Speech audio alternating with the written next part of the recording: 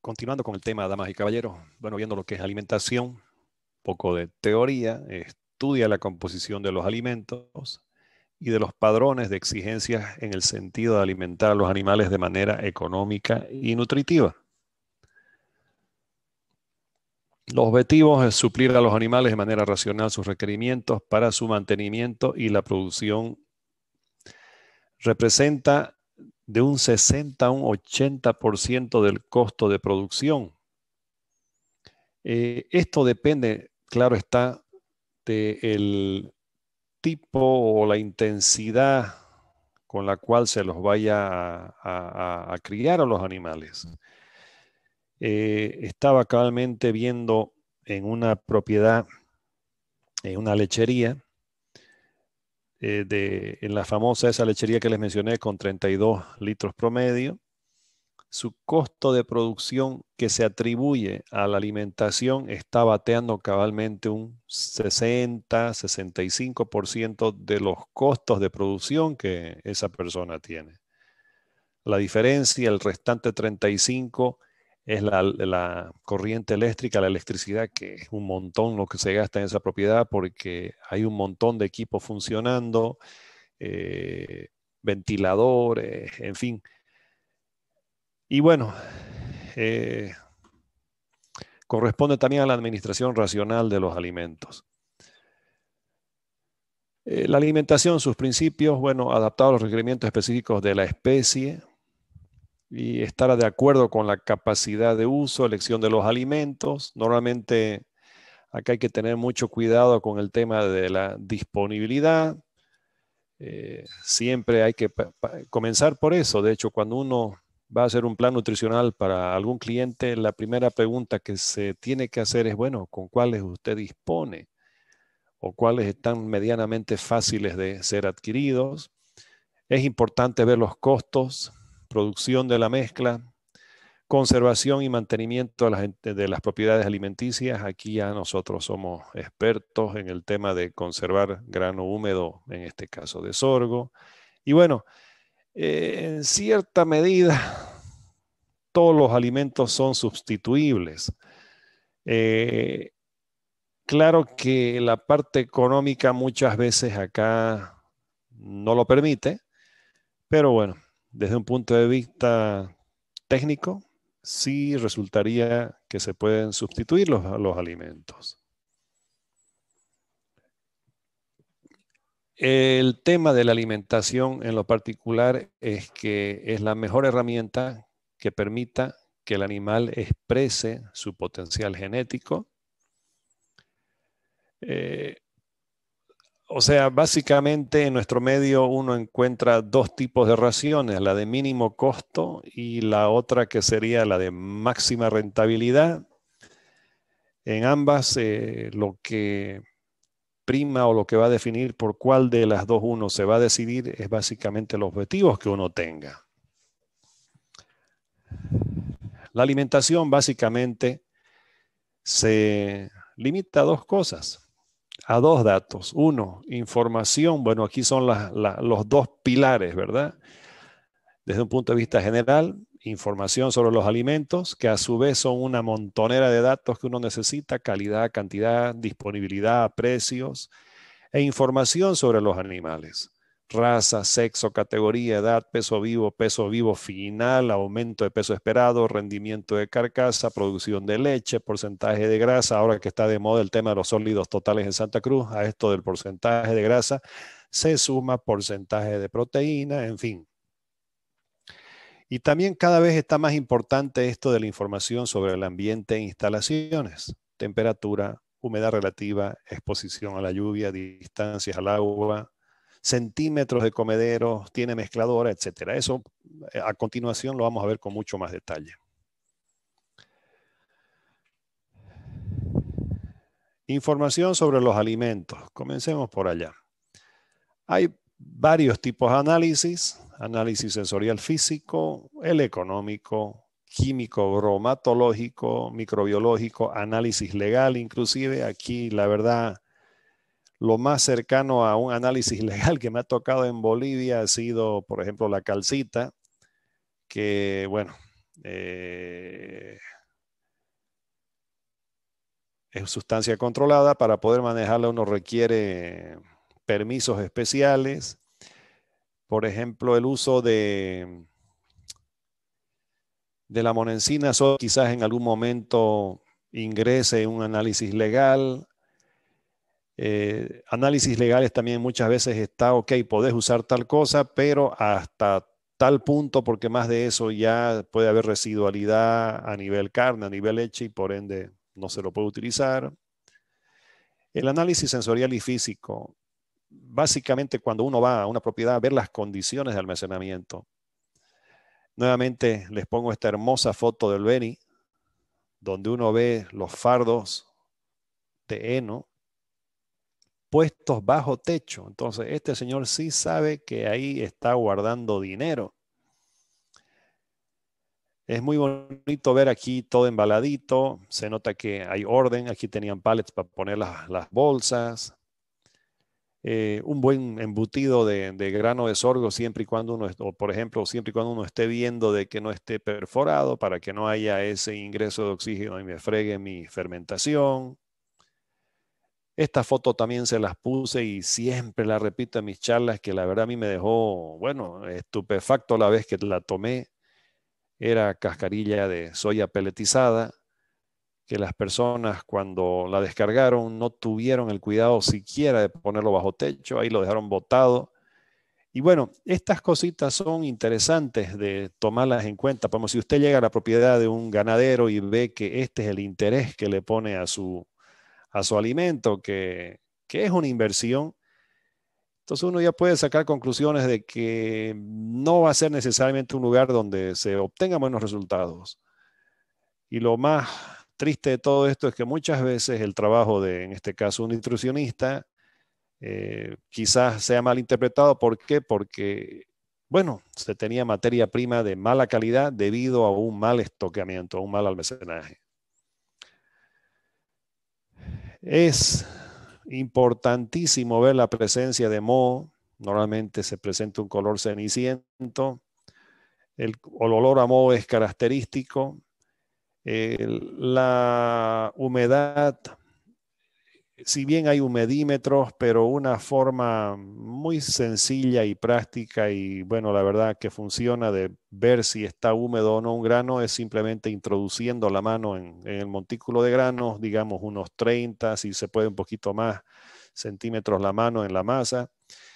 Y si uno ve de que, bueno, hay calor, significa de que hay suficiente humedad como para que se empiece a generar una combustión, una respiración de la, de la semilla, con lo cual, lógico, ya empieza el proceso de degradación. Es interesante ver, es importantísimo ver el estado del grano que uno adquiere, presencia de gorgojo. Si hubo un gorgojo, ese pedacito ya es mucho menos almidón entonces, si esperábamos no sé cuántas kilocalorías por kilo de, maíz, ya con estas características, todo eso se va a alterar. Esta foto también tengo la impresión que se las mostré, es para el caso del granillo de soya. Un subproducto que si es de una calidad medianamente homogénea puede llegar a ser muy interesante pero ¿qué ocurre? Como es su producto en nuestro medio, normalmente a uno le venden gato por liebre, como esta muestra de acá que la tomé por cuatro cañadas fue, en la propiedad de un ganadero que compró bastante granillo de soya. Uno podía ver que una parte era, ok, granillo de soya con su chalita y sus granitos, toda una hermosura, pero el resto era eh, básicamente basura y bueno, que no aportaba prácticamente nada de nutrientes a nuestra ración. No me acuerdo, doctor Mariscal, si les comenté de que este tipo de subproductos, como barridos de silo, granillos de, soya o a veces eh, eh, quebradillos de algún, de algún grano, yo los utilizo en animales confinados y no en animales que después van a ir a potreros. Eh, no sé si alguien se acuerda. comentó, comentó, comentó. No sé si alguien se acuerda el por qué no utilizo este tipo de subproductos en animales que después van a ir a potrero. ¿Alguien que me haga recuerdo? Señor Tanaka. Creo que fue porque ya los animales están acostumbrados a, esa dieta intensiva, ¿no? Y cuando vuelven a los pastos que no tienen de repente la misma calidad del alimento que consumían antes, ellos tienden a, perder la ganancia promedio de peso. Bueno, esa es una consecuencia que seguramente se va a dar, pero otro punto interesante, señor Tanaka, es de que en todos estos subproductos, donde hay una mezcolanza de cosas, entre otras hay cantidad impresionante de semillas de, maleza. Entonces, si esto se lo suplementa uno a un, a un bovino, el bovino lo va a comer, seguramente será un un suplemento de consumo medio, es decir, 500 gramos por animal día, bueno, o un kilo, se lo come feliz el bovino y se va al potrero. Y cuando bostea en las heces de ese bovino van a salir todas estas semillitas ya escarificadas y encima en un medio bello para que puedan germinar. Entonces es una forma, pero realmente eficiente, de contaminar potreros con, con hierba mala. Entonces hay que tener un poquito de cuidado cuando uno utilice sus productos y de calidad medio mala, en el sentido de que estén plagados de, semillas de maleza para animales que después vayan a, ir a dar a, potreros.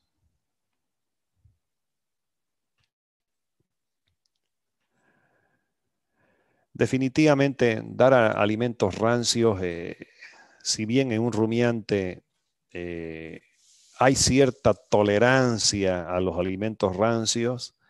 En monogástricos, para nada. Ahí sí hay que usar granos de la mejor calidad. Pero no me acuerdo en dónde vi un análisis de granos en Bolivia, pero básicamente toditos los granos que provienen por lo general de zonas tropicales, ya sea las zonas de, del Beni o de Santa Cruz. Me refiero a básicamente a, maíz, a sorgo. Vienen ya con una buena carga de micotoxinas.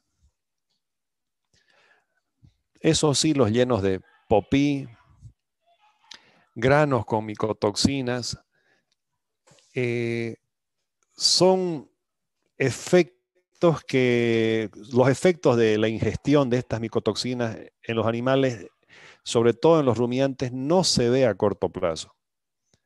Es algo acumulativo, mientras que, por ejemplo, un cerdo facilito se ve si estuvo ah, ingiriendo granos con micotoxinas, está el típico la bulbita inflamada o está el eh, piernas abiertas, síntomas notorios de que un animal está con problemas de micotoxinas, el hígado totalmente deformado y normalmente animales que están en un ambiente en el cual han estado consumiendo eh, alimentos con alta carga de micotoxinas, problemas reproductivos, en el caso de la lechería, mastitis e incluso hasta problemas podales, se van a presentar porque todo el efecto de estas micotoxinas eh, llega a, tener su influencia en todos los puntos que anteriormente les mencioné.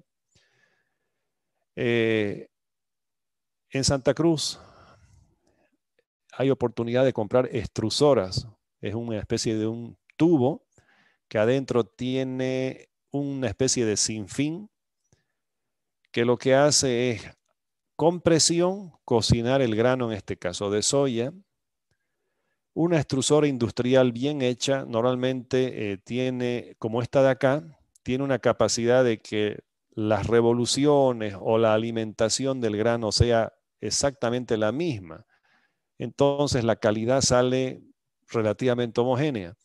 No así en esta extrusorita que ustedes están viendo al medio, que está hechiza, que está normalmente es movida por un tractor en la cual eh, ya sea la velocidad del tractor o el personal que no mete con cierta frecuencia permanente eh, el grano a la extrusora, esta puede salir de distintas calidades. Entonces es interesante ver el color y la consistencia. Asimismo, eh, hoy por hoy ya hay alimentos peletizados en el Beni, por ejemplo, se utilizan bastante en el tema de destete precoz. Definitivamente hay que ver la calidad del, pellet. Si uno ve que muchos de esos pellets, es decir, estos choricitos que les estoy mostrando, presentan un color muy oscuro, es decir, casi acaramelado, van a ser pellets que no van a ser digeridos. Un color oscuro o acaramelado significa que en el proceso de pelletizado se usó demasiada presión, con lo cual hubo una caramelización o un efecto de Maillard, con el cual tanto los almidones como las proteínas existentes en un pellet así medio oscurito van a contar con una biodisponibilidad mucho menor que cuando ve uno un pellet eh, relativamente claro y que fue bien pelletizado. Cuando uno utiliza sal, sal común, por ejemplo, es bueno de que los terrones uno los tenga que disgregar. Cuando uno utiliza fosfatos, eh, hay mucha gente que le gusta comprar el fosfato para hacerse ellos sus mismas sales minerales, tener cuidado de cuál fosfato se trata Normalmente hay unos granulados y otros totalmente en polvo, inclusive este no está del todo en polvo, pero por lo general los fosfatos medios granulados se los utiliza en avicultura y para cerdos o bovinos el fosfato normalmente tiene que estar completamente pulverizado.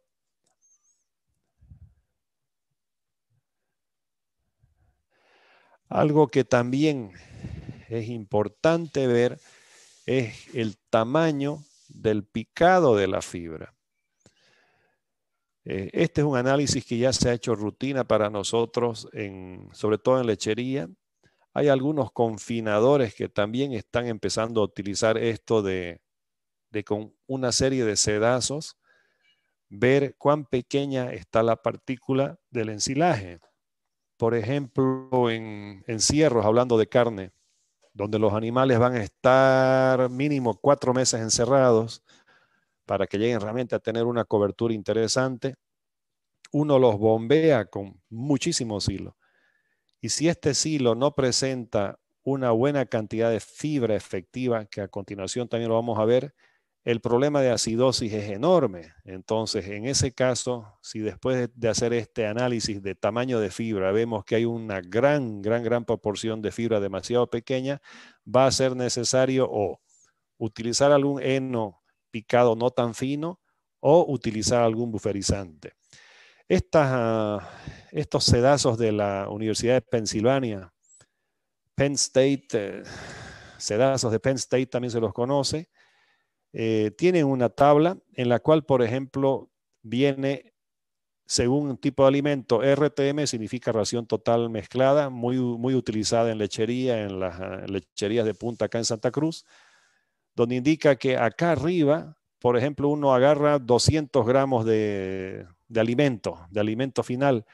Acá arriba máximo, o sea, tiene que haber por encima de un 10%, es decir, por encima de 20 gramos en la segunda, en, la segunda zaranda tiene que haber esa cantidad que ustedes están viendo acá. Y si, por ejemplo, en la, etapa, en la, en la parte superior hubiese menos de 10%, ya salta la alarma. Esto está muy picado y necesitamos hacer lo que hace un momento atrás les mencioné.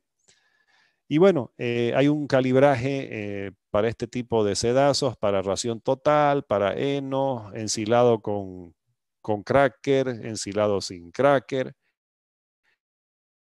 Y bueno, esto eh, cada vez está siendo más utilizado en nuestro medio, principalmente en lechería, pero también en ese tipo de confinamientos que les mencioné.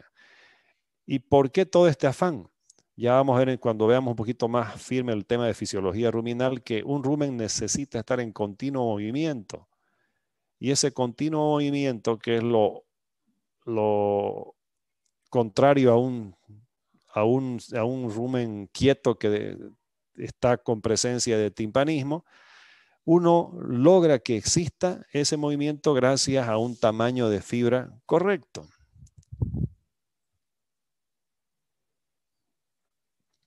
Hace un momento les mencioné que si se cuenta solamente con un silo muy menudito y no hay oportunidad de proveer al animal de algo de fibra efectiva, el uso de buferizante es prácticamente una obligación. En lecherías acá donde se está dando una fuerte inclusión de concentrados, y que no se puede dar suficiente forraje porque, bueno, por ejemplo, en esa lechería de 32 litros promedio con vacas de punta que hoy hablando con el dueño están llegando a los 48 litros, es necesario utilizar bastante, bastante concentrado que no tiene suficiente fibra efectiva. Entonces se utilizan los buferizantes que son una especie de antiácido, una especie de, de alcacelser o, o de chamabico para los que volean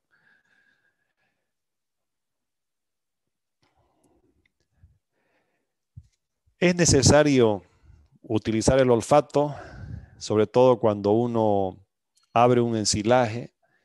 Bueno, lo primero que hay que ver es si no está caliente el ensilaje, porque si está caliente significa que hubo oxidación y no fermentación.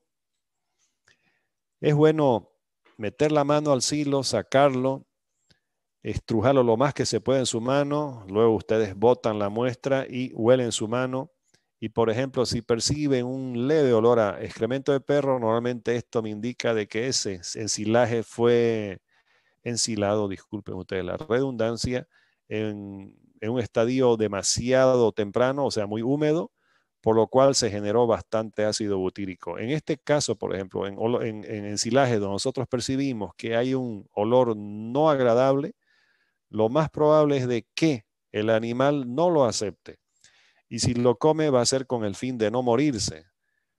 Y nosotros como productores lo que buscamos es que el animal engorde. Entonces, para que eso ocurra, el animal tiene que comer con gusto lo que se le pone.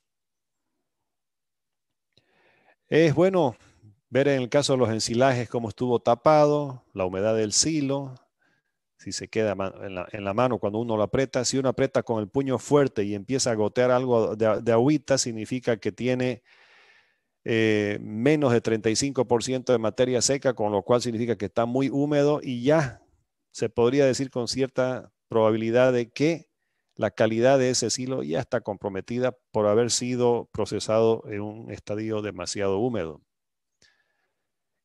¿Qué tipo de muestra se requiere? Bueno, lo más representativo. Es necesario tomar varias muestras, luego mezclarlas y finalmente en una bolsa introducirlas eh, alrededor de un kilo de una muestra. Si es una muestra de silo o de forraje, eh, hay que procurar sacar todo el aire. Entonces es bueno utilizar bolsas medio gruesitas que no se pinchen con las mismas pajitas de la muestra, identificarla bien y bueno, algo que, como dice Brasileiro, ¿no? o sea, chire fotos, siempre tome fotos de todos los análisis que usted haga, cómo lo hizo, porque definitivamente eh, es necesario documentar todo ello. Análisis económico. Análisis económico. Por ejemplo, acá tenemos cinco insumos. Burlanda seca, burlanda húmeda, burlanda gelatinizada, vinaza. Estos cuatro alimentos de acá son subproductos de la destilería del etanol. Entonces, normalmente ocurre algo interesante acá. Estos productos son una fuente interesante de proteína. Entonces, al ganadero y tienen una forma de comportarse similar a la de la soya solvente. Entonces, doctor Mariscal, aquí vamos a sacar nuevamente las calculadoras. Perfecto, ingeniero querido Koki, señor Tanaka, la doctora y el otro doctor que, que hizo sus cálculos. Y ahora vamos a hacer un análisis económico que se trata de lo siguiente. Ok, el precio de la soya solvente, por favor, tómenlo como una referencia. No sé cuánto esté ahorita, 320, 340, no nos pongamos a discutir en eso. Pero hagamos de cuenta que el precio de la tonelada de soya solvente es de 500 bolivianos. ¿Listo? Quizás debería haber puesto dólares para que sea más, más, más real, pero ya, 500 bolivianos, por favor. Y la proteína bruta de la soya solvente es del 46%, es decir, en un kilo de soya solvente hay 460 gramos de proteína. La soya solvente normalmente tiene 88% de materia seca. Ok, considerando, damas y caballeros, que la característica de la proteína de este subproducto de la destilería del alcohol se asemeja mucho al de la soya solvente, si la tonelada de soya solvente cuesta 500 bolivianos con estas características, ¿cuánto yo podría pagar máximo por cada uno de estos insumos considerando la proteína como parámetro para definir el precio? ¿Se entendió?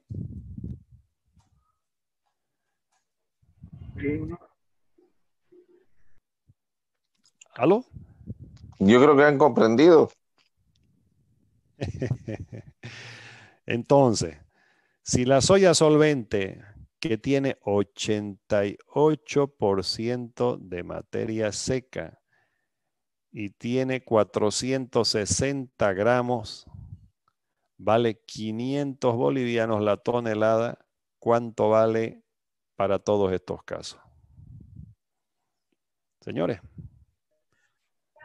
¿Se va a tomar los dos parámetros o solamente proteína? Ya hasta ayer yo iba a ponerlo solamente proteína bruta, pero estamos entre puros profesionales. Ya me da vergüenza preguntarle cosas muy fáciles. Ambos, por favor.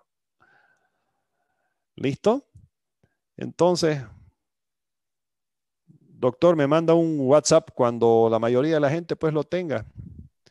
Son cuatro problemitas. Entonces, vamos a hacer un análisis económico que es necesario, damas y caballeros. ¿Listo? Y lo, y lo vamos a hacer en debate, en grupo. Ahorita voy a organizar el grupo. Meta. Perfecto. usted grupa ahí. Ah, disculpe, doctor, eh, el procedimiento es literalmente el mismo para cada uno. Si usted guste, gusta, arme cuatro grupos. Grupo 1 saca burlanda seca, grupo 2 este, este, este y le metemos. ¿Le pueden tomar una captura de pantalla, por favor? Ya, ya tengo yo la captura, ahorita se lo voy a enviar a todos. Ok, señores. Entonces, a trabajar y usted me pasa un mensajito cuando diga, mire, Felipe, ya estamos filo. ¿Listo? Muy bien, ingeniero. Señor, nuevamente muchas gracias por su colaboración. Estamos Perfecto. Bueno, vamos a hacerlo en el, orden que está. ¿Sí? Eh, doctora Ademar.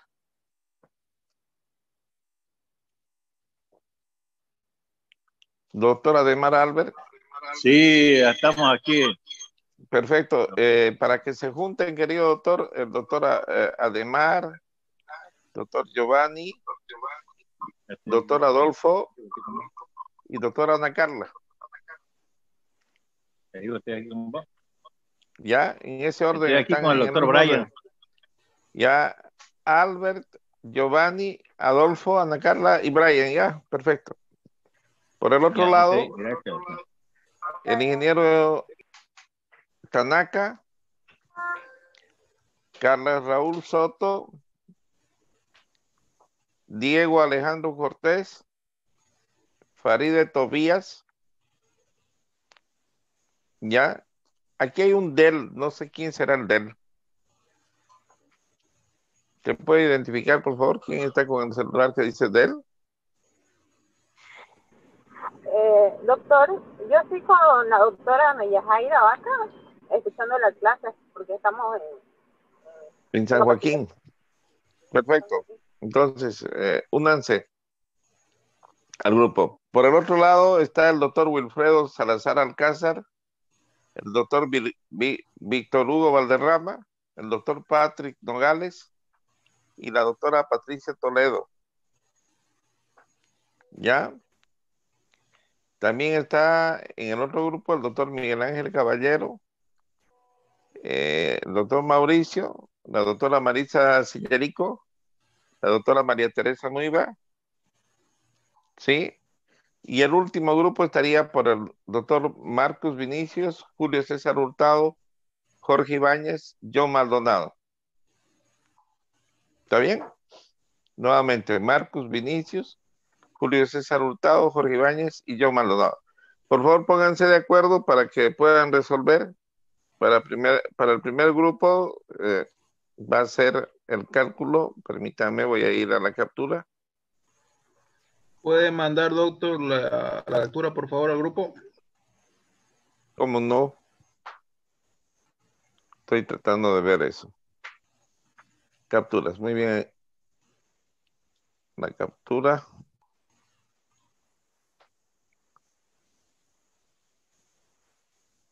Aquí la estoy enviando al grupo. ¿Ya?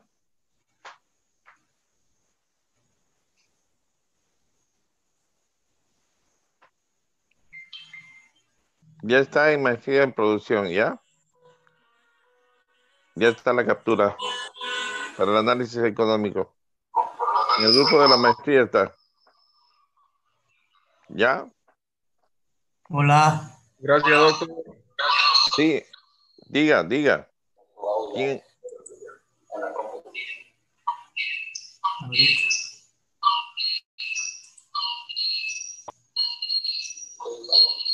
¿Pudieron?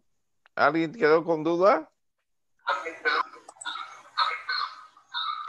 El primer grupo era para la burlanda seca, el segundo grupo era para la burlanda húmeda, el tercer grupo para la burlanda, burlanda gelatinizada y, y el otro grupo era para el de vinaza. El último.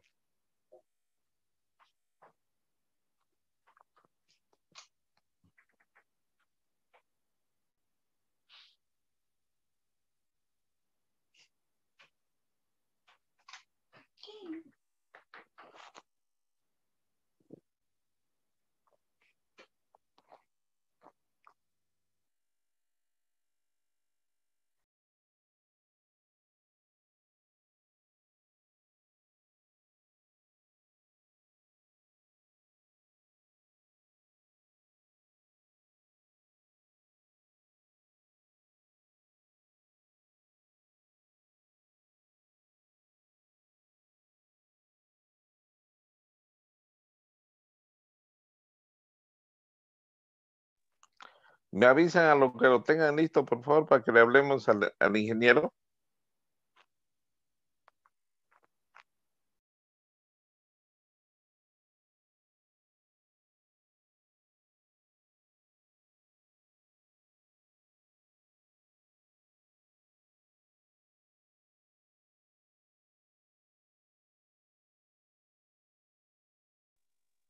Buenas noches, doctor. Eh, ¿Nos puede repetir el grupo 2 quiénes eran los participantes? Por favor.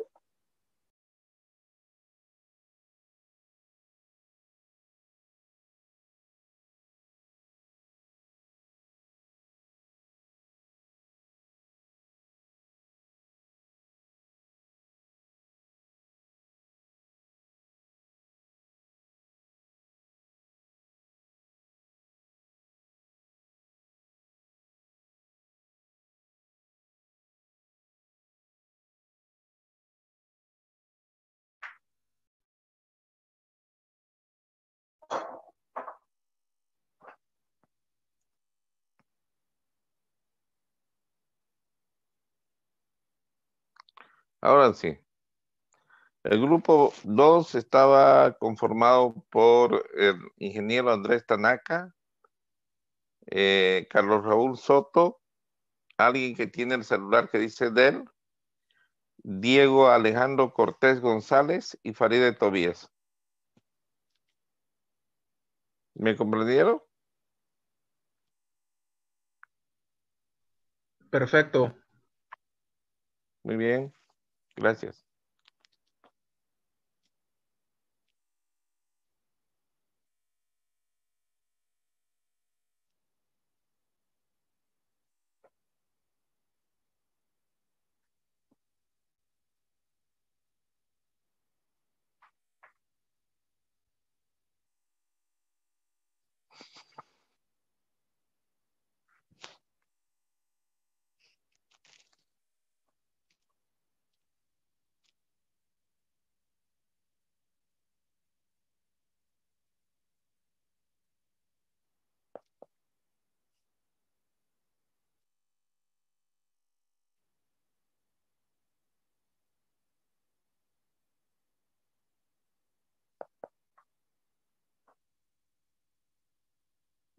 Hmm.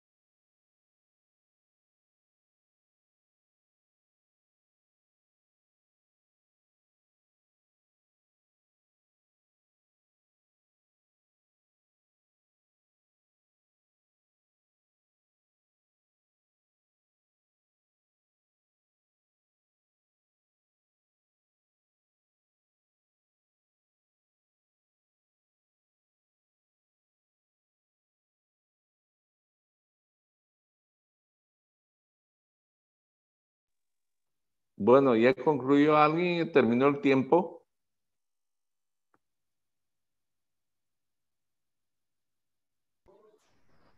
A ver, doctor. Perfecto. Le hablamos al, al ingeniero, no se preocupe. Le hablamos, ¿ya? Ya, doctor.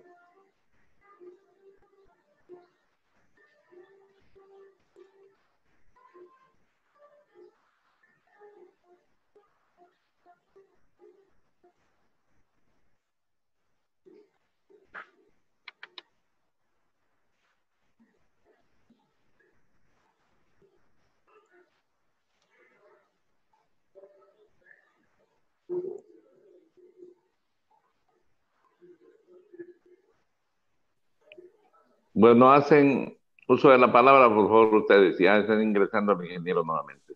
Allá voy.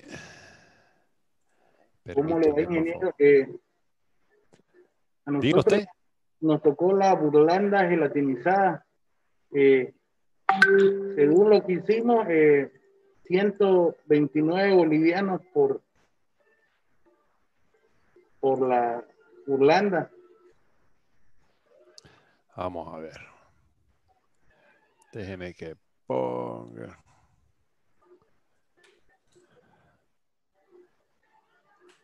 Perdón, la pregunta del rigor, ¿se ve la pantalla?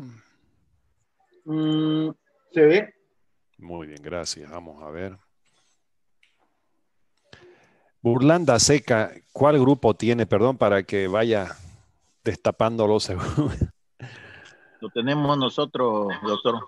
La Por favor, doctor, si es tan amable, ¿cuánto le salió? Ya nos salió el precio de 291 bolivianos con 84 más o menos. O sea, aproximadamente a mí me sale 298 con 48. A ver, ¿cuál es el criterio que hay que tomar? O quizás sale la, la regla 3 simple acá facilita. Con la regla T simple, este, doctor, digamos, nosotros tenemos, nos basamos en la proteína bruta. Muy bien. Tiene eh, eh, 268. Ya. Vamos Lo a hacer un ratito- un siguiente, si me permite, doctor. Cuando usted ve la etiqueta de una bolsa de soya solvente, dice que tiene 46% de proteína bruta. ¿Sí? Sí, Eso equivale a que tiene 460 gramos en materia seca, pero acá una soya solvente que le venden a usted normalmente tiene 88, 90% de materia seca. Entonces, este, este precio de acá es lógico cuando usted compra una tonelada, no compra, ya véndame una tonelada de materia seca de soya, usted compra de soya solvente, ¿no? Entonces, en realidad usted estaría comprando, si son tan amables, 460 por 0,88. Ya. ¿Cuánto le da? 460 por 0,88. 404. 404. Muchas No, gracias. 4.8. Muchas gracias, doctor. Entonces nosotros tendríamos, en lugar de este 460, tendríamos 404.8, ¿sí? Ya.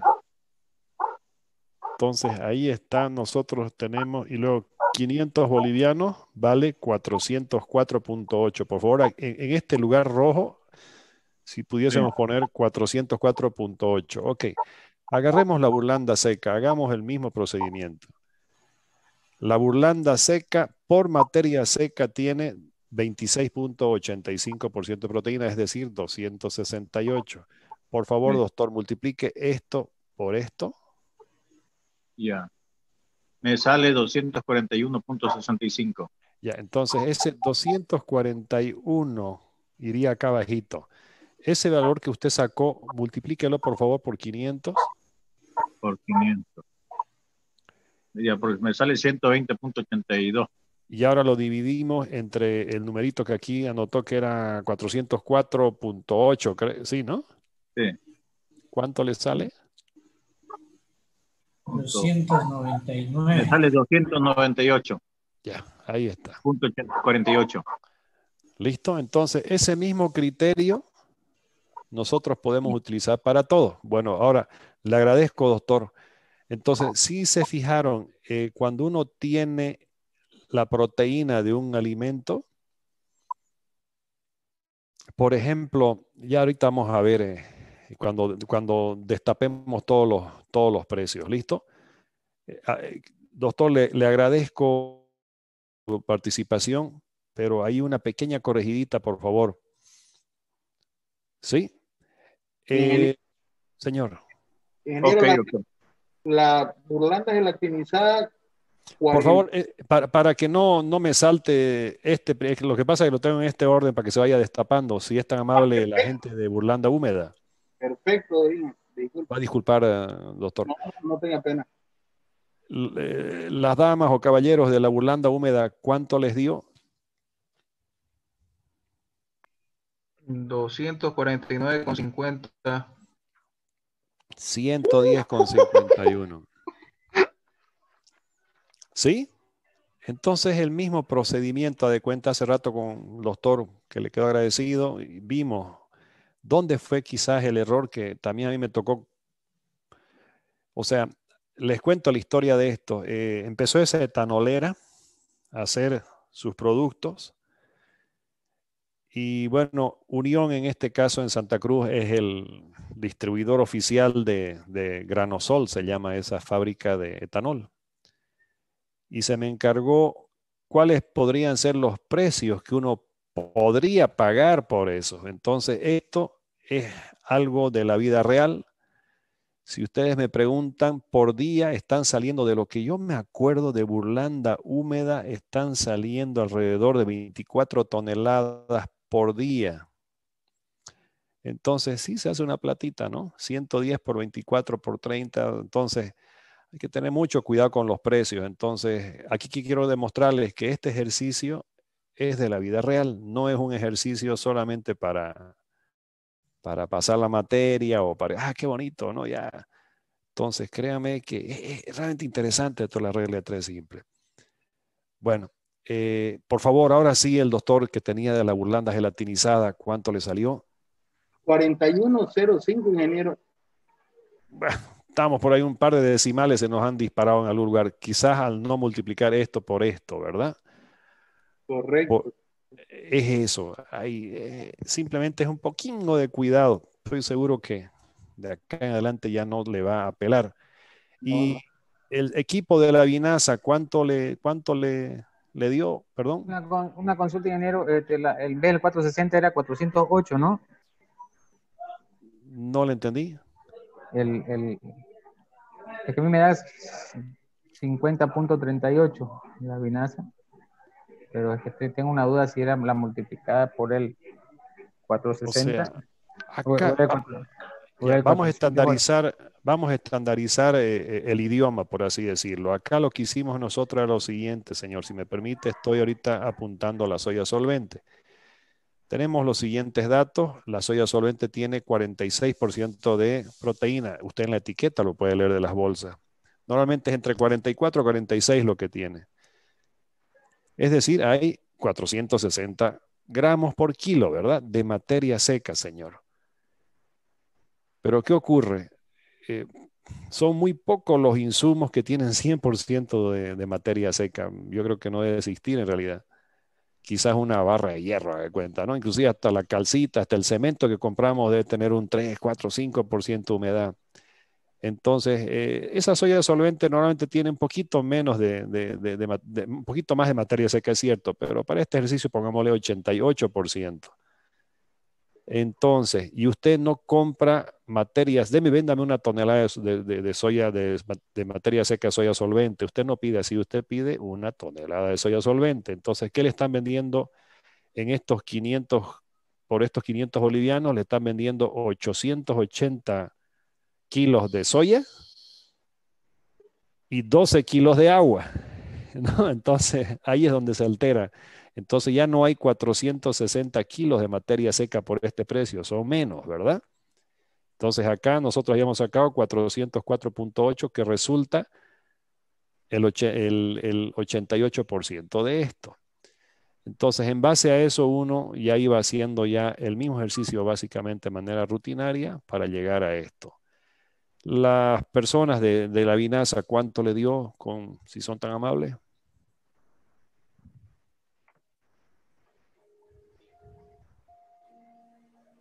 Bueno, lo voy a poner una vez. Entonces, por ejemplo, acá, ¿qué ocurre?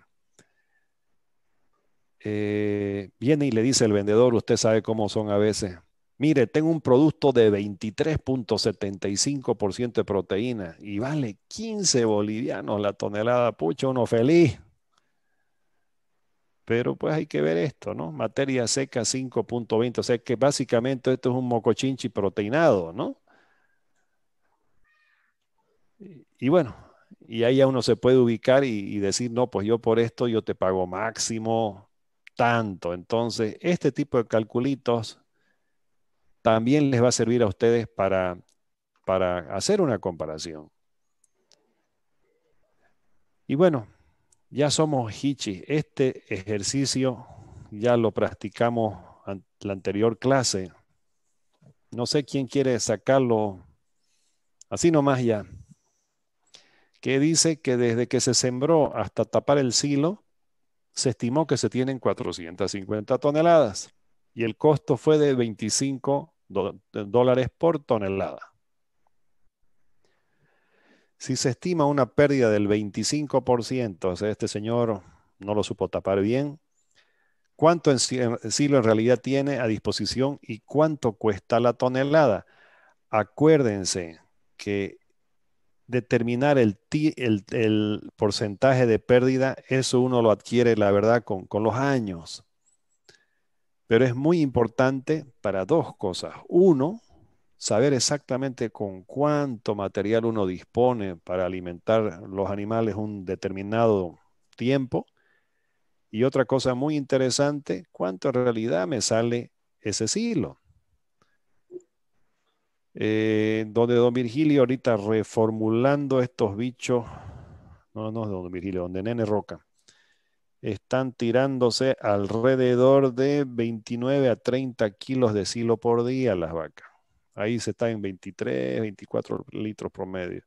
Entonces, imagínense una metidita de pata en la calculada de precio de un insumo que entra en tal proporción, caramba, va a alterar las cuentas finales. Entonces, no sé si hay alguien entre ustedes que ahorita a capela pueda decirnos cuánto cuesta ahora la tonelada de este silo. ¿Será que cuesta 25 dólares o cuánto cuesta? 33 ingeniero, 33.33. Cabalín. Miren, ustedes estamos hichi. Hace una semana se tardaron un minuto, ahora se tardaron 10 segundos. O sea, vamos recordando, señores y señoras. Vamos por buen camino. Entonces, análisis económico, eh, hay varias formas de hacerlo. Puede ser por el punto de proteína, como en este caso, pero ahí hay que tener la certeza de que la proteína que aporta, por ejemplo, una burlanda seca sea similar a la de una soya solvente en el sentido del perfil de aminoácidos. Están los análisis químicos bromatológicos, acá en el Cetabol eh, hacen buenos análisis, eh, al menos hoy por hoy en Santa Cruz es el único laboratorio que tenemos funcionando. Que yo, me, que yo sepa el de Lidibet o del CIAT, perdón, no he visto últimamente que lo estén utilizando, una pena. Entonces, para un análisis bromatológico completo, eh, acá en Santa Cruz tenemos uno solo. Tengo entendido que en Cochabamba hay otro laboratorio, también bueno, pero bueno, son, son contados para, para un país ya que, que, tiene bastantes posibles clientes que requieran esta información, ¿no? Porque un buen análisis bromatológico es básicamente como una hoja de ruta. Eh, es necesario que, bueno, que también se haga con mayor frecuencia ese tema. Estos análisis bromatológicos eh, normalmente en Bolivia se los hace siguiendo el método de Vende. El método de Vende, no sé si en Trinidad también hacen este, este análisis, eh, doctor Mariscal. No, no, no hacen, ingeniero, no hacen acá. Que, yo sepa, como le digo, en Santa Cruz, eh, ni siquiera en la universidad, o quizás lo hagan solamente a fin de, de educativo, ¿no? Pero así comercial para, ganaderos, que básicamente queda Cetabol, que es del, que está en la colonia de Okinawa, Okinawa 2. Este método fue inventado por Hennerberg y Stoman en 1867, o sea, es uno de esos grandes pasos que da la humanidad, fíjense, desde entonces y se lo sigue usando. Y no es solamente acá que usamos un método tan antiguito, en realidad esto se lo utiliza a nivel mundial todavía. Y bueno, consiste en separar a partir de la muestra seca una serie de fracciones con características comunes y no compuestos individuales. Se denominan contenidos brutos o crudos. El método de vende en qué consiste? Tiene usted materia seca, lo deshidrata, es decir, aparte el agua y se queda con esto si uno le prende fuego a una parte de la materia seca o lo incinera, obviamente va a tener una ceniza y la diferencia sería lógicamente la materia orgánica. Y después, por nitrógeno, por ejemplo, ahora nosotros ya sabemos cómo determinar la proteína cruda, la fibra, el extracto etéreo, una regresión que hay de distintos tipos y uno ya tiene, por ejemplo, en este caso la energía neta, los componentes los alimentos, para ser un poquito más precisos, ya habíamos dicho que con una buena deshidratada obtenemos el agua y la materia seca. La materia orgánica después de la combustión era todo lo que son los hidratos de carbono y proteínas, y lo que queda son la parte inorgánica que son los minerales. La materia orgánica se, se divide en compuestos nitrogenados que a su vez se dividen en no proteicos o proteínas.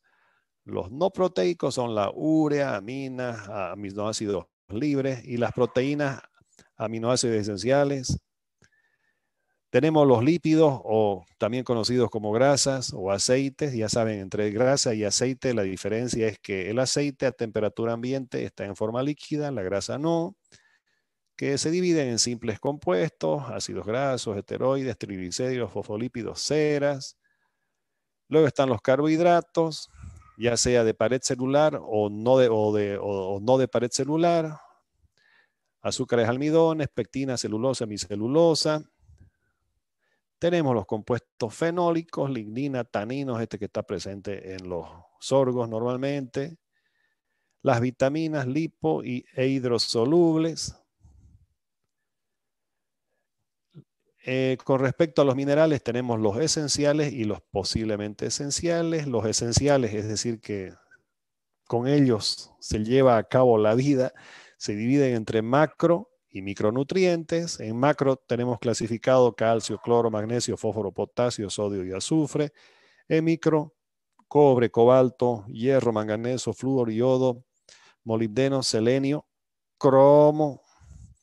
Posiblemente esenciales, bueno, me imagino que deben estar todavía en estudio o en, o en debates ahí los científicos y de alguna forma estos de acá también tienen alguna función en lo que es, eh, bueno, el metabolismo de los seres vivos.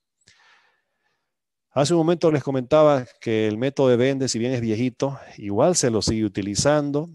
Es la base para el cálculo de los nutrientes disponibles totales.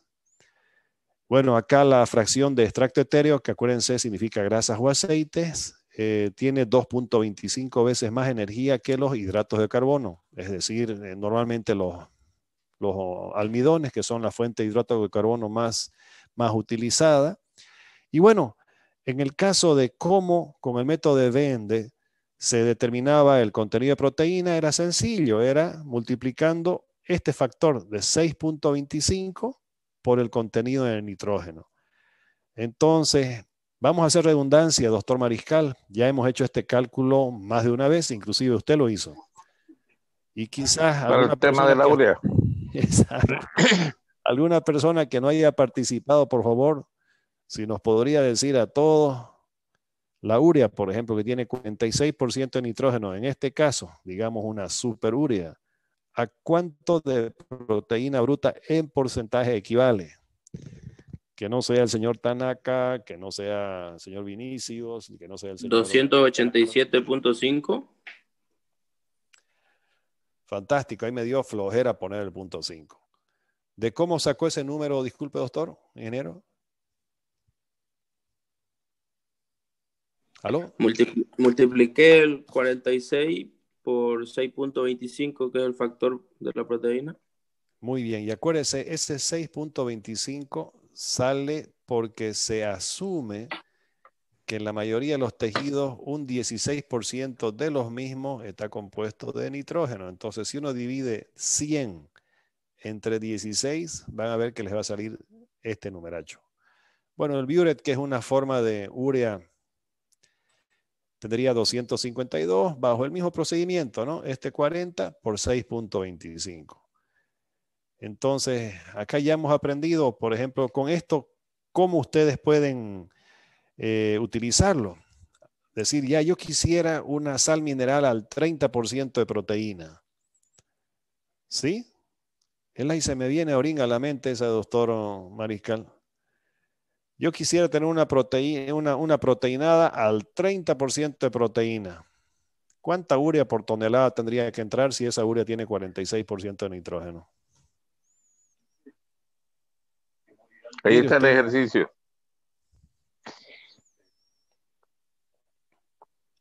O sea, quiero yo una sal mineral que tenga lo equivalente a 30% de proteína.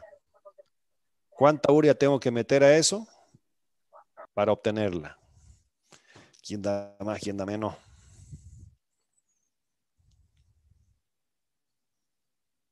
Ya, se los dejo para mañana, jóvenes. Por favor, no se vayan a olvidar. Está sencillito, una sal mineral al 30%. ¿Cuánta urea por tonelada tengo que meter si esta tiene 46% de nitrógeno? ¿Sí? Eso lo revisamos mañana. Bueno, este método de vende eh, tiene algunas desventajas, no ofrece información precisa, sobre todo por los carbohidratos.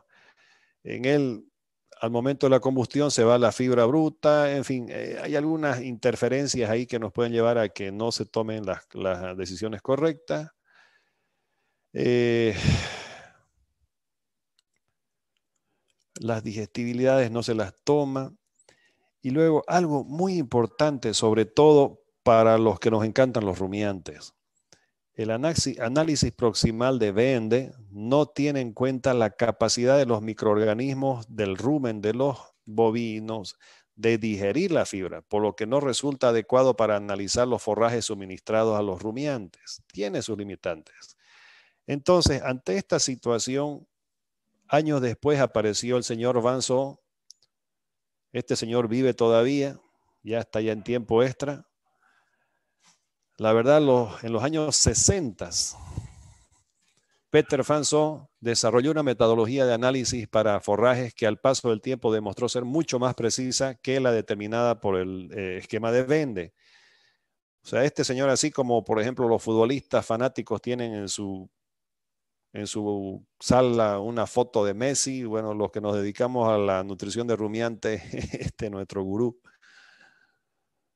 Este señor lo que hizo fue fraccionar los carbohidratos y los fraccionó en dos. Los que están en el contenido celular, es decir, al medio de la célula, que son ácidos orgánicos los, y azúcares, almidones y fructosas, es decir, carbohidratos no estructurales que tienen una característica de degradarse de manera rápida.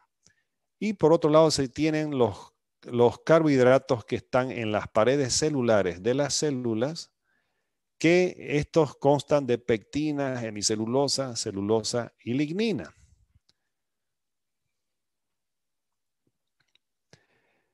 Y su gracia de su fraccionamiento del señor Fanso fue de dividir los carbohidratos de la pared celular en dos puntos, fibra detergente neutro y fibra detergente ácido.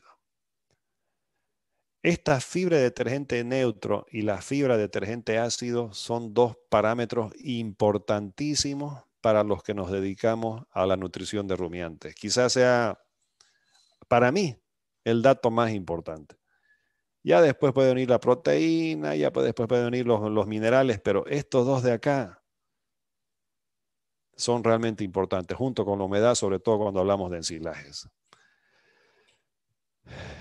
Poniéndolo desde un punto de vista más esquemático, un forraje joven va a tener paredes celulares delgadas y un contenido celular bastante grande.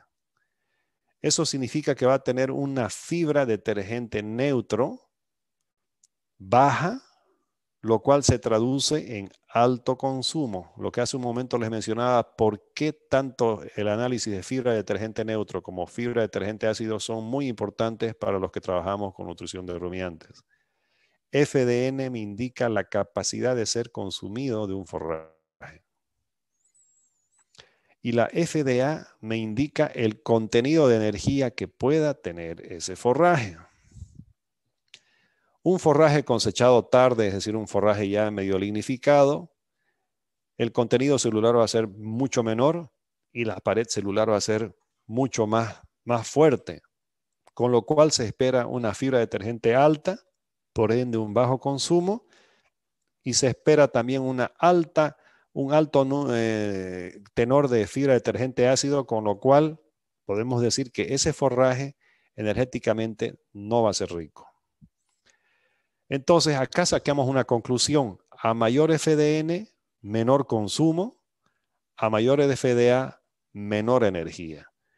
Esto es otra de las reglas que sí tenemos que tenerlas memorizadas, de las poquísimas que es necesario, aparte de ese 6.25 que se lo mencioné hace un momento, cuando queremos calcular el tenor proteico de un determinado alimento.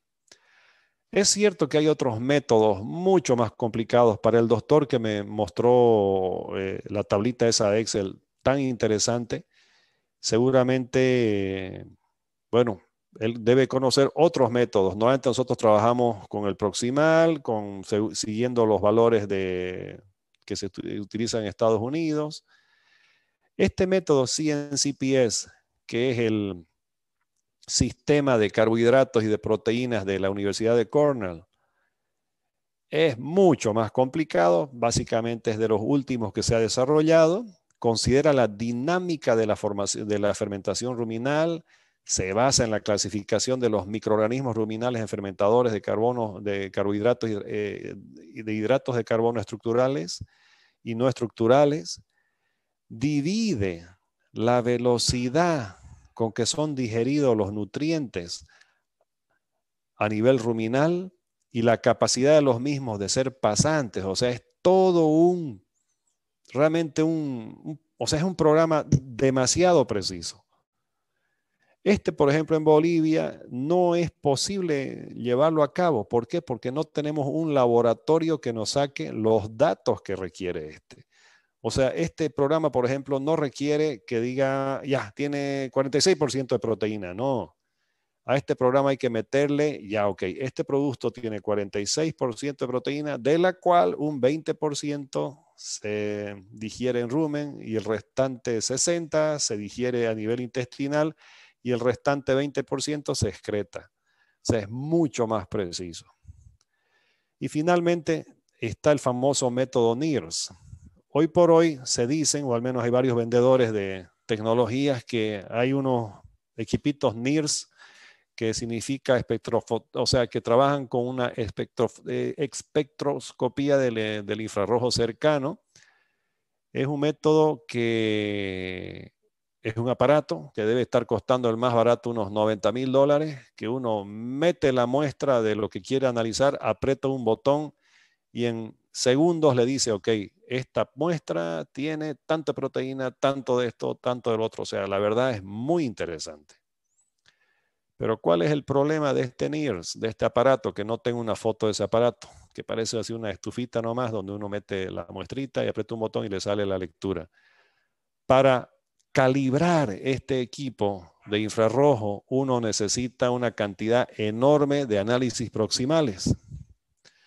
Entonces, si uno compra, por ejemplo, un NIRS para, y ahí quiere analizar Tangola, no va a poder porque antes de poder meter esa Tangola a un NIRS va a ser necesario hacer, no me acuerdo el número, pero varios análisis proximales y con eso irlo programando al, aparato de NIRS y recién poder utilizarlo.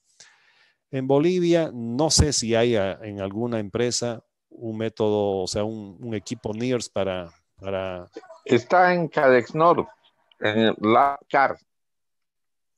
¿Cuál lo han comprado recién, lo compraron eh, algo de 180 mil dólares, algo así les costó. Y el problema más grande que tuvieron fue para calibrarlo y tuvieron que llevar un técnico que les cobró como 20 mil dólares desde Chile. Y ahora, la calibrada, como le comento, por ejemplo, los sorgos de, Santa Cruz o del Beni, no son los mismos sorgos ni del Brasil ni de, ni de, ni de Argentina. Entonces, es necesario hacer un análisis proximal de las muestras. O sea, a la larga, si costaba 90 mil dólares el aparato este y 20 mil la asesoría del señor, los análisis van a costar otro tanto. Y aparte de eso, que cada cierto tiempo es necesario una calibración. Entonces, si bien es un botón que hay que apretar para que le salga la lectura, en el caso de un NIRS en Bolivia, para que se pague esa inversión, bueno, imagínense cuántas muestras tendrían que estar tomadas a, diario, lo que equivale a que aquí ya nos falta gente que pueda mandar la suficiente cantidad de muestras para que justifique la inversión de eso. Disculpe, doctor, ¿es una empresa o es una institución estatal? La que es, la Cámara de Exportadores que eh, el 3% del Producto Interno Bruto de Bolivia es el que, el que exporta en, nueces. Ya. En nueces, entonces su inversión es significativa porque son cerca de 200 millones de dólares que anualmente está exportando. Entonces, eh, le han hecho una exigencia, yo trabajo ahí, Ya. eh, y le han, le han exigido en Europa Sí. eh, que tengan un, un, eh, espectrómetro, ¿no? Entonces, Ya. para hacer todas las lecturas, especialmente para el tema de, de, de aflatoxinas. Listo. Me imagino que afla, ocra y otra cosa, los ácidos grasos de los cuales está compuesto el, el- el extracto etéreo de la, de, la, de la castaña, me imagino que también debe tener su- sus parámetros, o sea, qué sé yo, de linoleico máximo tanto por ciento, de palmítico tanto por... Estoy dando el nombre simplemente. Si uno calibra, Sí, tienen, tienen ingeniero y tienen unos parámetros, unas tablas que exigen cabalmente y se miden por partes por millón, ¿verdad? Entonces, eh, el, el tema es que las exigencias son tan altas que tienen un margen mínimo de variación. Por, por ejemplo, para el tema de las aflatoxinas, no pueden pasar de dos partes por millón en las muestras que toman y todo. Y lo interesante de, de este laboratorio es que está certificado para, para la FDA. Estados Ya. Unidos reconoce lo- lo- los análisis, como también la Unión Europea y, y Asia. Qué belleza. Entonces, y tenemos que- eso en Bolivia, eh, cosa que ni en Brasil habían estado produciendo ese tipo de, de aceptando la certificación tan directa como la que tienen ahí en el laboratorio. Eh, es un orgullito aparte de, nuestro, ¿no? Claro, ahí justifica, es una, una hermosura y lo bonito que una vez eh, calibrado este, este equipo es cuestión de meter la muestra y plic y el botón y sale la lectura. Realmente interesante. Algún día tendremos eso en el tema de, de nutrición. También hay análisis microbiológico. Esto de acá, por ejemplo, fue una, un análisis de, déjenme ver, de conchilla o de qué fue. Aquí no dice, pero tengo la impresión que fue de conchilla. Donde moho y levaduras me salía elevadísimo. Coliforme. Bueno, estaba todavía dentro de los rangos permitidos. Eh, por ejemplo, para alguien que, que quiera utilizar harina de carne en alimento para peces, un análisis microbiológico de esa harina de carne no le caería mal. Y pasando al otro lado, información sobre los animales. Por ejemplo, en el caso de carne. Ok, los requerimientos cambian, señoras y señores. Entonces, para, para saber cuáles son esos requerimientos del animal, necesitamos, entre otros, una serie de datos. Edad, peso inicial, peso final o un aumento de peso esperado que me gustaría tener, si es macho, si es hembra, si es un animal castrado.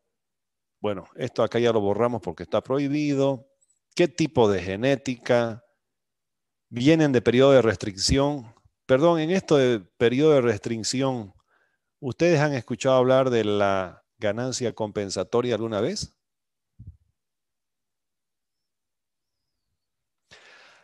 ¿Alguno de ustedes ha escuchado que una vaca en confinamiento ha engordado tres kilos y medio por día? Cuatro. Sí, doctor, cuando, cuando está con hambre, pues, y entra a un potrero ya que tiene pasto, digamos, come casi el doble y tiene una ganancia compensatoria. Muy bien. ¿Qué es la ganancia compensatoria, doctor? ¿O cómo, cómo la entiende usted o, o cómo nos la puede explicar? Eh, yo la entiendo, digamos, es como una, el cuerpo, es como, por ejemplo, uno se pone a hacer dieta Sí, y uno, uno pierde, pierde un poco, digamos, de kilo y el cuerpo le, le, cualquier cosa que come lo asimila al 200%. Com- come 100, digamos, y casi transforma todo. perfecto. O sea, la verdad, la... Tiene, ¿Sí? sí, doctor. No, le agradezco, Sí, sí. doctor. Va por ahí. eh, O sea, la naturaleza es sabia, ¿no? En... Señor, lo escucho. Eh, en el caso de piscicultura, en el criadero de pescado, donde hay densidades muy grandes de, de siembra, Sí, el, el pescado tende a tener eh, ganancia de peso compensatorio porque sigue alimentándose, sigue absorbiendo los nutrientes, vitaminas, minerales, y no momento en que ele tem um pouco mais de conforto, não, é, espaço, em caso, ele desenvolve quase o doble em el mesmo período de tempo. perfecto. Casi no lo copio, señor Vinicius, pero le agradezco su aporte. Disculpe, doctor Mariscal, usted mi... Le, le decía, yo, le- yo le copié, estimado ingeniero. Dice Sí. que en el caso de los peces, Sí, cuando disminuye la densidad de población, es decir, cuando Ya. tienen más confort, sí, eh, en su experiencia tienen una ganancia de peso del doble que lo que normalmente se tiene a los parámetros normales en peces. Eso era lo que decía el doctor. allá. Marcos Muchísimas Vinicius. gracias, muchísimas gracias, doctor. Eh, hace un momento les comentaba que, bueno, la naturaleza es sabia y cuál es el origen de esa famosa ganancia compensatoria. Está un animal y de repente empiezan a escasear los pastos. Y digamos que un animal estaba medio gordito y tenía un requerimiento de 2.000 calorías, estoy dando un número, por favor, hipotético, por día. Ok, si el alimento empieza a ser restringido en cuanto a cantidad y también calidad de yapa, para que esas 2.000 calorías sean, sigan, con- continúen siendo tapadas o, o- u ofrecidas al animal, va a estar cada vez más difícil. Entonces, ¿qué hace el animal? Reduce sus requerimientos de energías o de nutrientes de mantenimiento. Es decir, en vez de necesitar 2.000 kilocalorías por día, quizás eh, empieza a bajarlo a unas 1.200, 1.300 kilocalorías por día. ¿Y cómo lo logra eso? Dicho de una manera un poquito no tan científica, literalmente disminuyendo el tamaño de su tracto digestivo y de su hígado. Órganos que requieren muchísima energía solamente para mantenerse. No estoy hablando de producir. Entonces un animal, ¿qué hace? Empieza a haber eh, eh, escasez de alimentos. Lo primero que hace es bajar sus requerimientos para estar vivo, para que las probabilidades de que su existencia no se trunque sean mayores. Muy bien. Va a disminuir su movimiento, va a disminuir su actividad, en fin, todo. Ahorrar, ahorrar, ahorrar va a ser su objetivo. Bueno, termina la época de vacas flacas, empieza a haber nuevamente forraje y el animal ya tiene más para comer. Ahí entra la ganancia compensatoria, que no es otra cosa, sino que el tracto digestivo y el hígado recuperen su tamaño original. Y es por eso que hay esas ganancias tremendas de, de- peso. Por ejemplo, un cliente en Santa Cruz, no lo voy a nombrar, pero era un comerciante fantástico de ganado. Una vez me, di- me llama y Felipe he comprado vacas flacas, pero de buena genética. En- creo que a nueve bolivianos el kilo. Las tuvimos algo así como 25 o 30 días en confinamiento y las volvió a vender a nueve bolivianos el kilo pero vivas. Entonces, lo único que hizo ese señor durante ese tiempo fue, si gustan ustedes decirlo, hidratarlo o que nuevamente hinche el animal, pero no formó para nada carne. Entonces, ahí obviamente el truco era venderlo el animal entero, porque si lo hubiese matado y vendido como carcasa, pucha, ahí sí perdía un montón de plata, porque bueno, tanto la panza como el hígado no pesan a la hora de, de- de- comercializar el ganado. Entonces, Ganancia compensatoria básicamente significa eso, que dos de esos órganos que les mencioné vuelven a su tamaño normal y por ende es que uno llega a ver, o sea, cuatro kilos y medio, cinco kilos de, ganancia diaria. Y uno dice, no, este me está, me charlas de peluquero, no, es cierto, pero se trata de eso, no se trata de que esté formando más músculo o aumentando la cobertura de grasa, en fin. Es importantísimo saber porcentaje de preñez y aquí dividirlas entre primíparas y multíparas. Primíparas son las que parieron una vez y van al segundo parto o a la segunda preñez. porcentaje de nacimientos, porcentaje de destetes, edad a primer servicio, todas estas cositas, por ejemplo, sobre información de los animales. Lógico que no es necesariamente el animal, aquí en muchas cosas de esto es el manejo que se les da, son importantes para un nutricionista poder tomar la decisión correcta. Fíjense, carne. En leche, me interesa la edad, peso al nacimiento, aumento de peso diario de terneros y esto dividido inclusive en etapas, edad al destete, porcentaje de mortandad de terneros, causas, edad primer servicio, retenciones placentarias, acidosis, incidencia de mastitis y laminitis. Parte de los datos que a mí me van a decir, ok Felipe, vos tenés que formular así la, la ración para esos animales. Días abiertos en leche es importantísimo, porcentaje de preñez, eh, de servicios eh, contra preñez, leche ácida, forma de la bosta, hay flema en la bosta, hay granos sin digerir en la misma, reciben ración total, cantidad de concentrado dado, producción promedio, días para alcanzar el pico de lactancia, porcentaje de grasa, células somáticas de la leche, datos que, como les comentaba, me van a dar pautas para definir cuán compleja va a tener que ser la ración final para este tipo de animales. Información sobre ambiente e instalaciones. En el caso de carne, ¿de qué tamaño son los potreros? ¿Tiene plazas para suplementar? ¿Cuán lejos está el agua? El confinamiento, ¿qué área por animal tiene? Por ejemplo, acá en Santa Cruz me ha tocado ver confinamientos donde uno por Warnes. Era interesante, en un corral ganancia promedio 1.450 gramos y en el corral de al ladito 1.100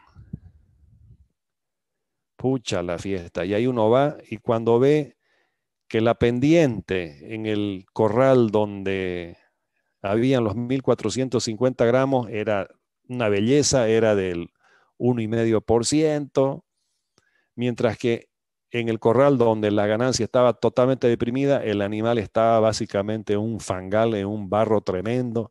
Entonces ahí el tema del confort eh, definitivamente tiene una influencia que es difícil a ratos de, imaginársela siquiera eh, eh, y, que nos trunca nuestro, nuestro plan nutricional. ¿Cómo están divididas las tropas? En los confinamientos top acá en Santa Cruz, por ejemplo, gusta de que la diferencia de peso entre el más gordito al más magro de una tropa no pase los 30 kilos tengo clientes donde sus piquetes, como dicen en Brasil, son de 125 animales y entre ellos la diferencia de peso no pasa los 30 kilos. De esa manera sé que no va a haber competición, no va a haber animales maltratados y la probabilidad de que mi ración me arroje el resultado que yo había planificado sea alta, bueno, va a ser mayor. Cuán homogéneos son los animales que van a, tener, a ser suplementados va mucho de la mano con el anterior punto cómo prepara los alimentos. Por ejemplo, acá, doctor Marical, es un caso muy bonito de un señor cerca Montero. Eh, bueno, otro nutricionista fue, le formuló una ración promedio de leche 12, 12 litros y medio, 13. Este señor lo que hacía era ración total, o sea, las vacas no recibían ya alimento en la sala de ordeño, pero recibían en su corral ya la ración completa que es un sistema que funciona muy bien. De hecho, yo durante 14 años en una lechería pequeña que tenía, así mantuve mis vacas. ¿Y para qué? De hecho, ya es hasta aconsejado que sea ración total lo que se le da a las vacas. Pero por el potencial de sus animales había la probabilidad de que la producción sea mayor. Al final lo que se hizo fue la misma ración, pero separarla y volver al sistema antiguo. A la hora del ordeño se le da el concentrado y afuera se le da el forraje con un poquito de cascarilla. Cuatro o cinco litros subió la producción. ¿Qué nos indicaba ahí? Que el preparado de los, de los alimentos estaba pésimo. Entonces hubo que dar un paso hacia atrás para poder mejorar. Era que su mixer no lo sabían manejar, en fin, dosificaban mal, repartían como les daba la gana, en fin, un montón de problemas. Qué tipo de mixer tiene, qué tipo de saleros tiene, cómo va a repartir el suplemento, tiene balanza. Eh, bueno, en leche, el hato, en cuántas categorías está dividido, si van a potrero, qué distancia promedio recorren las, las, vacas productoras, cómo es el acceso al agua, cómo es el horario de repartida de alimento, horas de ordeño, cuánto se demora por vaca. Por ejemplo, en esto de horas de ordeña, eh, déjeme ver, noviembre voy a cambiar el horario de ordeña de mis vacas. Hoy por hoy es a las 6 de la mañana y a las 4 de la tarde. Voy a cambiar de ordeño a la 1 de la tarde y a las 11 de la noche. ¿Por qué? Mi sistema de ordeña es a, campo, de crianza de vacas es a campo. Y lamentablemente hoy por hoy las sombras, es decir, los arbolitos están chicos todavía y no tengo mucha sombra. Perdón. Lo que equivale a que las vacas a partir de las 10 de la mañana, los dos o tres bejucos que hay por ahí donde puedan un poquinho de sombra agarrar, ahí se van y dejan de comer desde las 10 de la mañana básicamente hasta las 2 y pico o 3 de la tarde. Entonces son muchas horas que está sin comer el animal. Y las mejores horas de pastoreo, que son cuando está empezando el sol a salir, las vacas están yendo a ser ordeñadas. Entonces, ¿qué va a ocurrir? Las vacas van a salir, van a pastorear y cuando ya empiece el sol a ser un poco desagradable o bastante, mejor dicho, las vacas serán traídas al corral donde habrá sombra. Hoy por hoy solamente sombra. Espero que de aquí a breve haya agua para rociarlas y las vacas comerían su alimento sobre mediodía. Con lo cual, con solamente ese cambio de horario y por ende darles un poquito más de confort a mis vacas, yo estoy con la esperanza de que mínimo dos litros más me aumente mi producción de leche.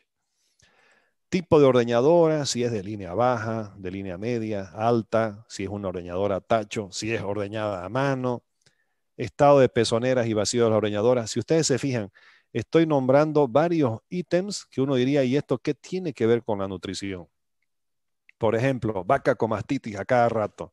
No es que le falta seleno y vitamina E y que tus aminoácidos o que el buffer no está funcionando.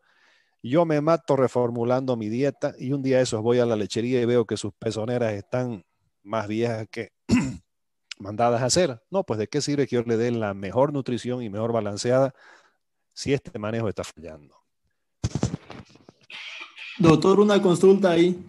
Este, el, rociado de las vacas en la, en la sala de espera, ¿cuánto rociado con ventiladores, cuánto más o menos me influiría?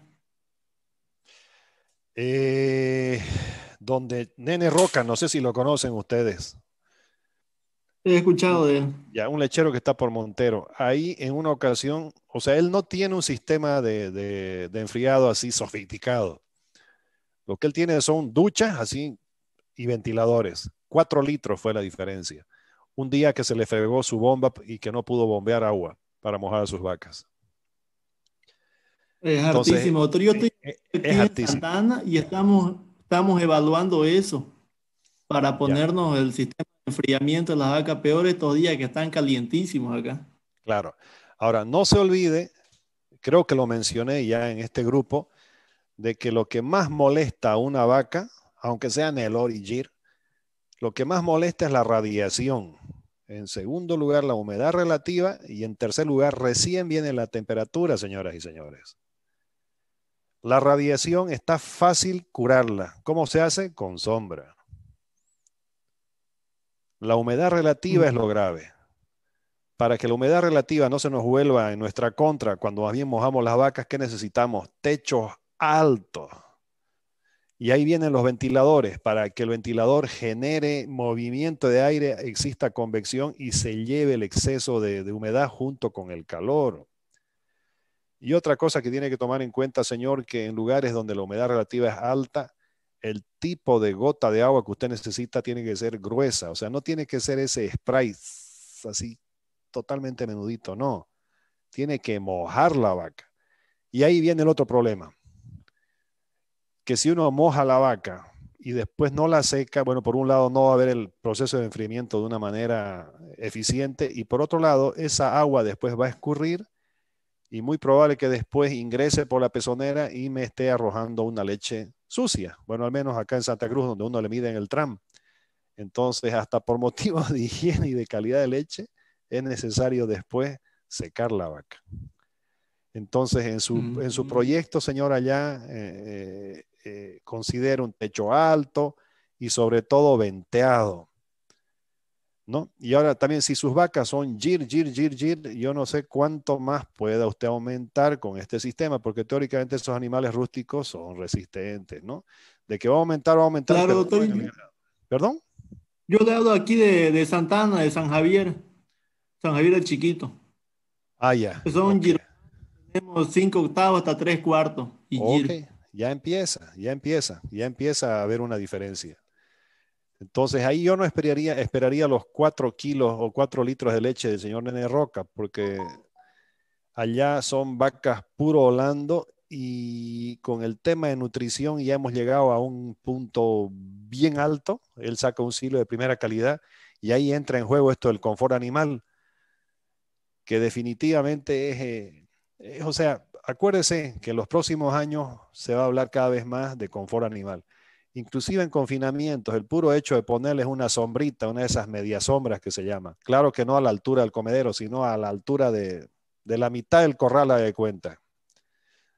Y el animal de tal manera tenga oportunidad de ir y sombrearse desde la, desde la cruz, a- o sea, la parte de la- delantera de su cuerpo, ya va a estar un poco más cómodo que uno que esté en pleno sol. Y si está más cómodo, lo primero que va a hacer es responder mejor. Entonces es interesante su proyecto, señor, acuérdese, pero techo alto y, no le tacañee con el tema del viento, porque es con la única forma que uno puede contar para controlar el tema de la humedad relativa alta. Ya, doctor. Otra pregunta, este, más o menos cuánto tiempo tendría que tener la vaca en la sala de ordeña antes de empezar la ordeña. Normalmente media hora es lo, correcto. Ahora, animales GIR son un poquito más inquietos que los normales, ¿no? Entonces yo pienso que máximo media hora y ya deberían estar entrando a la sala de ordeño ya mojaditos y refrescados. Mm, Ya. Me Ah, interesa saber cómo dan- ¿Perdón? Sí. Ah, no. Estamos tratando de dar, dar al mayor, el que mayor confort, porque estamos, está, está subiendo bastante la leche. Ahorita tenemos casi el 90% confinado, pero así, digamos, hemos buscado los corralones hacerlo en, en lugares con mucho, con mucha sombra.